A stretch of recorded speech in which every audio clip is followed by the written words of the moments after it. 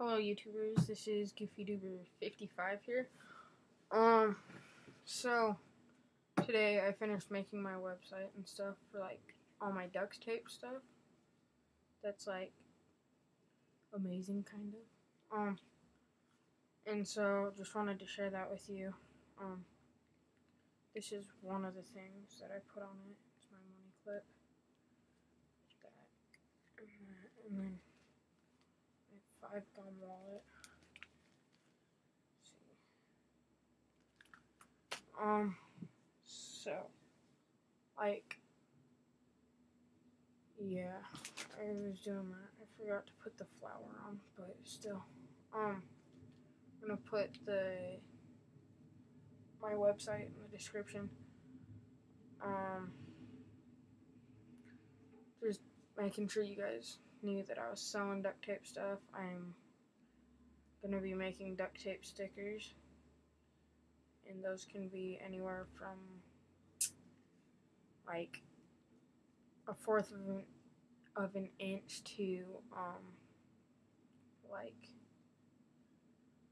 eight inches big. Um, and yeah, in my next video, I'm going to show you how to get so it's like all black on the thing where it's videotaping to like so like it's all black like right here. Know, like however you want it like in uh, like Hawaii it works there too.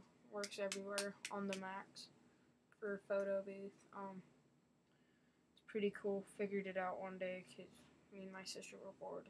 And so put this, I'll tell you in that video.